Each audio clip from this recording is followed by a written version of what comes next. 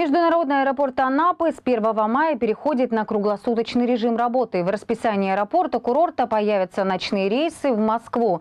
Авиакомпания «Аэрофлот», «Ютер» и «Севен». Летнее расписание будет действовать до конца октября. Международный аэропорт Анапы обслуживает более 18 авиакомпаний по 50 направлениям, в том числе из курорта планируется открытие регулярных рейсов в Стамбул.